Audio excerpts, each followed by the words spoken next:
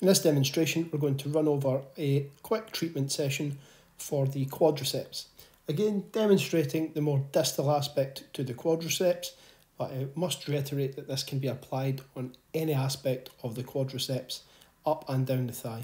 It is entirely dependent on your clinical rationale as a therapist treating a patient or where you may be feeling the pain, discomfort or tightness if you're applying this to yourself.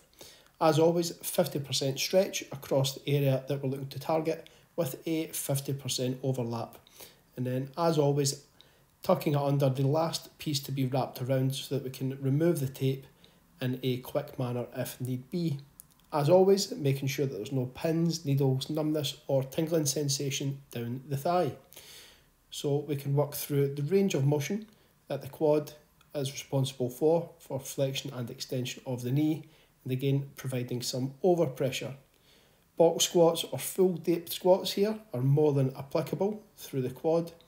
And then a nice addition to this is working into a quadriceps stretch. A wall stretch in this manner is a bit easier the lower down we are, and as we progress, we can try and come up onto the opposite foot and get as high as possible, getting a deep stretch into that quad.